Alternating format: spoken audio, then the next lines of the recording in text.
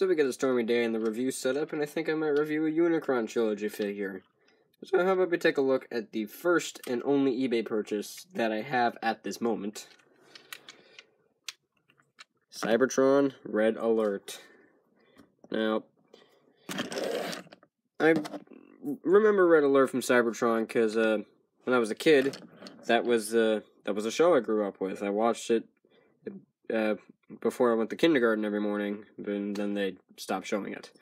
I didn't pick up any of the toys because, you know, the movie line at the time had just come out. So they didn't have any of the Cybertron toys. But, you know, a few years later, managed to find this guy on eBay for 10 bucks. Uh, seven shipping hand, $7 shipping and handling, but it was worth it. Kind of complete. Got the instructions, got the little map thing, got all those accessories, figure, even the box. So, whoever managed to sell me that, uh, don't know who you are, but thank you. I really appreciate it. Got that box on my wall now. It's masterpiece, masterpiece. So, here is Red Alert in um, uh, his um, SUV mode. It's really more of a sports back, like an Audi R3, but it's a nice looking vehicle mode. Uh, it doesn't look like it has a lot of paint apps, but that's just because there's a lot of translucent plastic. So, you know, with translucent plastic, you gotta make it look like it's um uh, same part of the plastic since they're not inserts. So, you gotta dedicate some of the paint budget to making it look good, and that kind of, you understand, is it economy mumbo jumbo. So, you got two massive blue stripes on the front with some bronze headlights, and got metal bumpers and fenders. With some golden hubcaps, so guess he's a police guy in the hood. I don't know. Uh, nothing really around the back. I mean, you got you got the bumper and you got uh, what appears to be molding for the for the tail lights and everything, but there's nothing painted. There's no rear window or anything. Uh, you do have the molding for the the cyber key slot, which is a uh, very very nice. You got the arrow telling you which direction to insert the cyber key. You got like little dots and vents and them uh, like like circuitry or wires like connecting to to his body. It's pretty cool. Got some hood vents. Uh, no junk in there. I gotta get a toothpick get that out. That was there when I got it, as well as all the paint scratches and everything you like seeing the fenders and stuff. That's just it's been there. Got some translucent plastic for the um, uh, windshields, the windows, and the sirens. Now you may notice this conspicuous little blue hump right in the middle of the sirens. That's his head.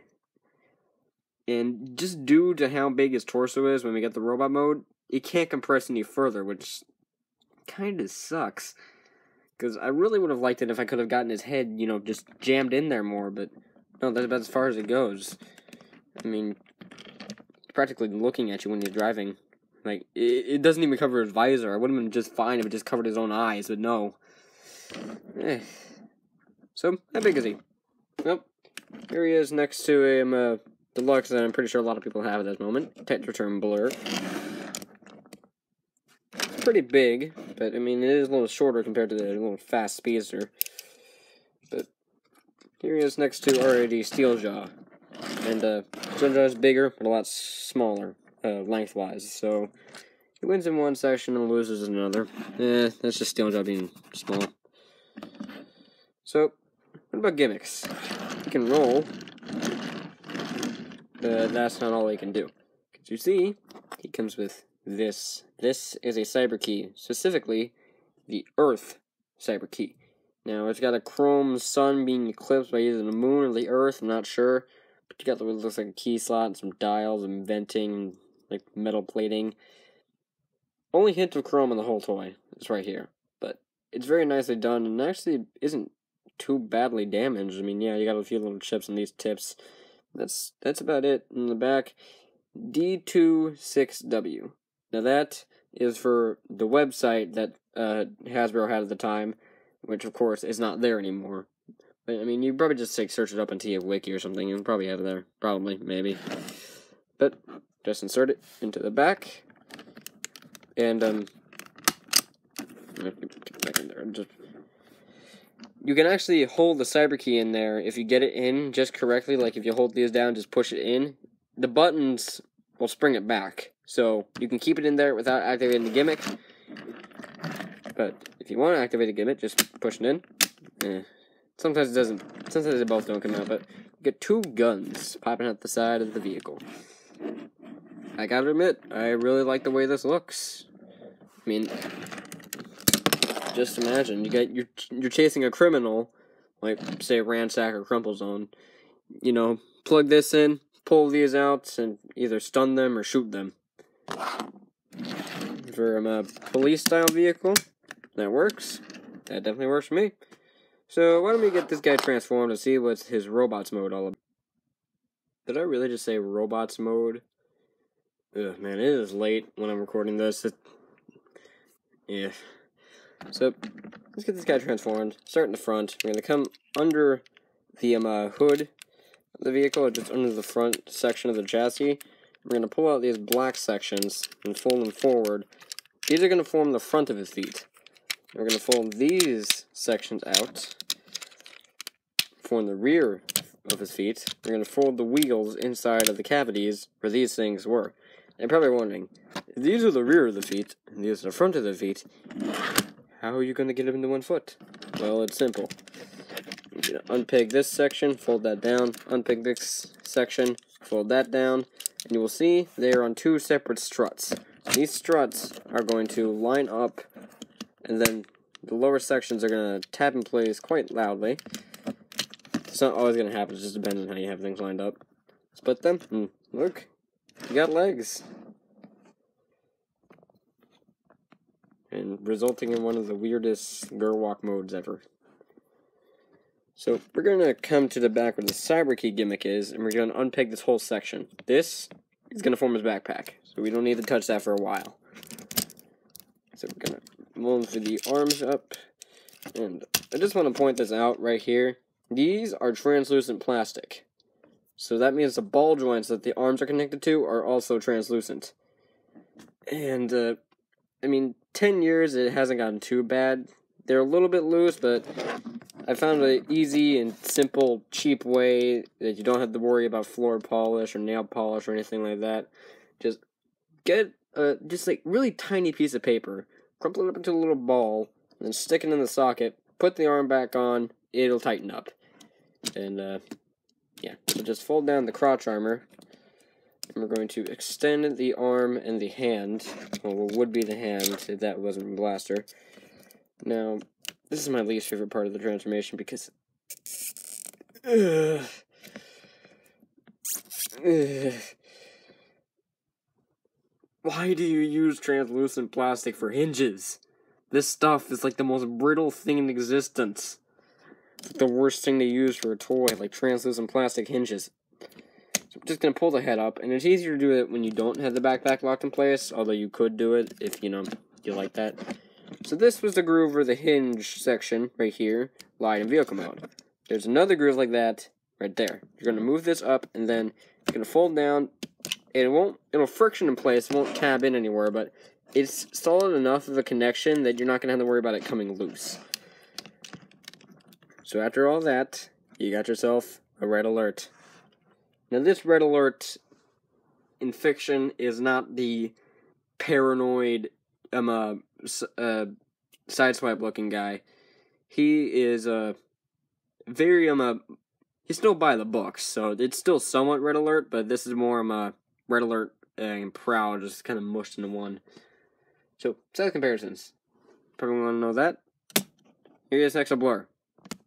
Blur towers over him. Alright, well maybe I'm just using a figure from... Uh, maybe Blur's is really big. Here's Steeljaw. Steeljaw. Makes Red Alert look short. Yeah, that's the issue with this guy. Even in Cybertron, this guy was pretty short. Like, he's Prime Rumble sized. Actually, I think Prime Rumble's actually a little bit bigger. kind of think of it. uh, uh, it is really late. So let's take a look at that head. Uh, kind of if I can get my lighting on it. Yeah, about as good as I'm gonna get it. Kind of looks a bit like a, uh, a bit like RoboCop. I mean, face it, you got the helmet, you got the visor, you got the exposed mouth that kind of looks like flesh in there with that gold paint.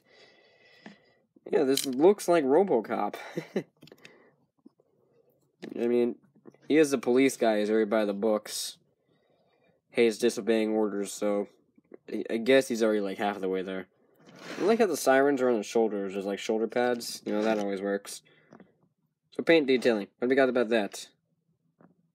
I can get my camera to focus. Uh, we got some gold patches on the shoulders. You still got the paint on these sections. Uh, got some more gold. Well, actually, you got the more bronze colors of headlights that are on right here. You got some blue surrounding his Autobot symbol, which is a little bit scratched up, but eh, I'll give it a pass. It's old. And it wasn't really mine. And, uh, yeah. But surprisingly, if you look in the back of his legs, he got this little gunmetal strip. And you're probably thinking, oh, there's just a paint. Alright, then why is it just on the line and not anywhere else? And why is there two? Yeah, so that's just a little unnecessary paint detail that they slipped in. It, it's really not important, but it's nice. Now, for mold detailing, it's not uh, super heavy. I mean, most of the stuff is from vehicle mode, so you've pretty much seen everything, but you got some, like, lines and panel details I mean, the legs in particular, um, uh, you got like wires and um, uh, gears and stuff like that.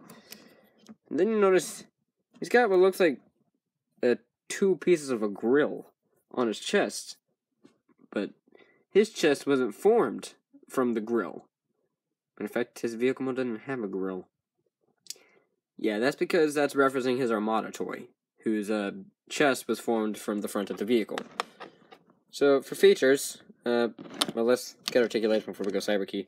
Uh, head, it's on a swivel. It's got full exorcist movement, so you got that. Ball joint in the shoulder, a little bit limited um, uh, if you got it like this, but it'll pretty much do all the poses you, you'll need it to. Uh, 90 degree elbow, no bicep, no wrist, obviously.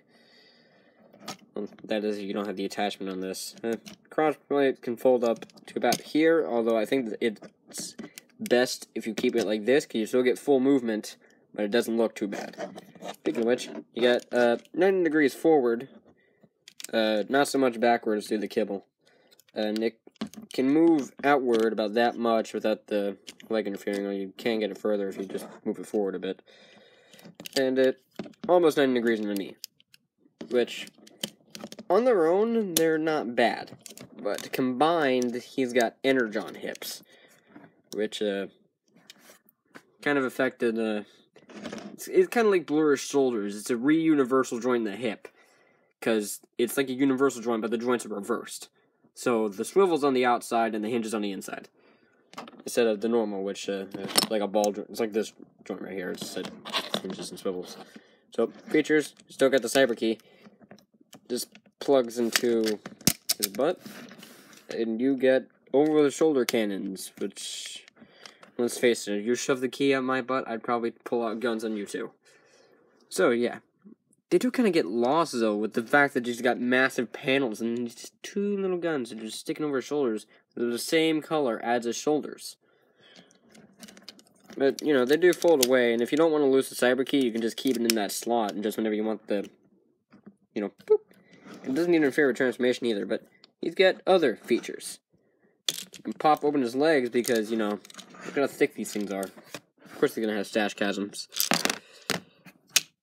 Just pop those up. And these are translucent, but they're thick enough that I'm not worried about them breaking. I mean, these hinges are pretty thick, but it's just, they're tight. Well, these things are pretty loose without having any cracking on them, so I like that. So, what do they got? Well, they got a little hammer that looks like some kind of grenade from Fall of Cybertron. He's got a little claw. So, they got a little uh, hole in the bottom that can plug onto his gun hand, and you can either give, give him a hammer for, you know, thonking dudes on the head, or, you know, like, fixing dents or building, I, I don't know, like helping build the base, even though he wasn't on Earth when they were building their base.